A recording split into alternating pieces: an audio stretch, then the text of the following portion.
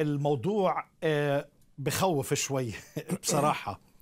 يعني هو كيف فينا نعالج ال stress. يمكن stress الكلمة الإنجليزية مفهومة أكثر من تفسيرها تماما في اللغة العربية بس حطيناها تحت كلمة الإجهاد آه، أو آه، الضغوطات. فإذا خلينا نسأل السؤال الأول ما هو الإجهاد؟ إيش أيوة. ال- ال stress يعني؟ أيوه.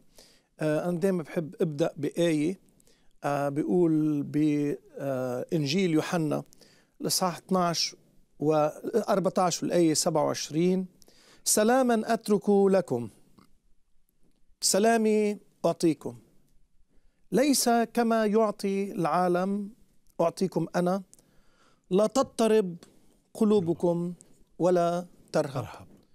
آم، الرب اجى ليعطينا سلام.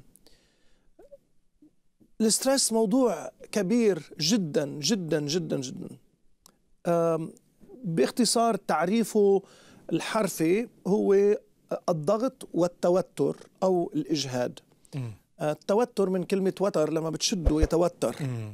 بحطوا tension بحطوا آه، شد. على الوتر بشدوه ل فالتوتر أو الضغط هي حالة من الضغط النفسي أو العاطفي يلي يعاني يعاني منها الإنسان التي تؤثر على جسده. فالحالة الاجتماعية الحياتية خيارات الحياة نمط برنامج الحياة يؤثر على نفوسنا على أفكارنا. هيدا بحط ضغط على أجسادنا. و ال stress هو ليس فقط حالة نفسية أو أو عاطفية لكن هي أيضا حالة جسدية. مم. لأنه لما بنحط إجهاد stress إرهاق. على الإنسان. الإرهاق. آه يا آه هو أكثر من الإرهاق لأن الإرهاق في حالة تعب ممكن الإنسان يكون stress ومش تعبان أبدا. يكون إنسان آه، مت- متوتر و, و س- م- ب- بحالة اندفاع كاملة لكن فيما بعد تقضي عليه.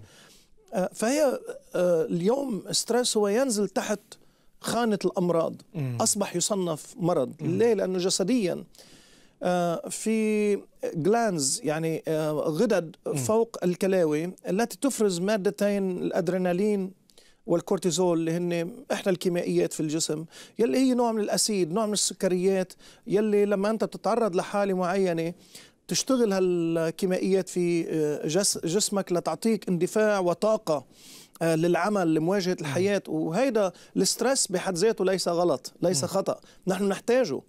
يعني ولا آه، آسف يعني بت- تفضل. بتسأل أغلب الناس مسيحيين وغير مسيحيين من كل الديانات من كل الطوائف على ما يبدو إنها حالة على الأغلبية العظمى. فدام تسمع يعني هون مثلا في North America بقول لك I am stressed out صحيح. يعني العالم أوقات بيقولوا ولا يقولوا إني أنا تعبان. آه. لكن تقنيا هي أكثر من ذلك.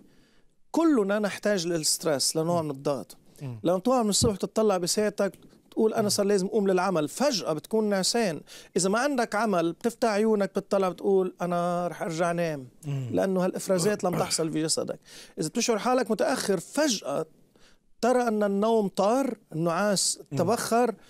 هناك طاقة عندك لتروح للعمل. والله صمم هل هل ال system الجهاز في الإنسان حتى يفرز الإفرازات لتشتغل وتتعب بعدين تجي إلى البيت فتنطفئ هذه الإفرازات ترتاح تنام وهي تعيد نفسها. لكن لما الإنسان بيوصل لحالة من ال stress هالغدد هيدي بتصير بحالة إفراز مستمر لهالنوع من ال acid. Okay. يلي بيخلي الإنسان دائما محتاج أعصابه مشدودة متوترة. وبما أنه هي نوع من ال acid ليش هي مرض؟ لأنها تضرب أجهزة الإنسان مشان هيك بتروح أوقات عند الطبيب أحد يذهب عند الطبيب صداع أو وجع رق- رق- رقبة أو مفاصل أو أعصاب أو انتفاخ في المعدة أو أو بيفحصوا بيقول له ما بك شيء stress.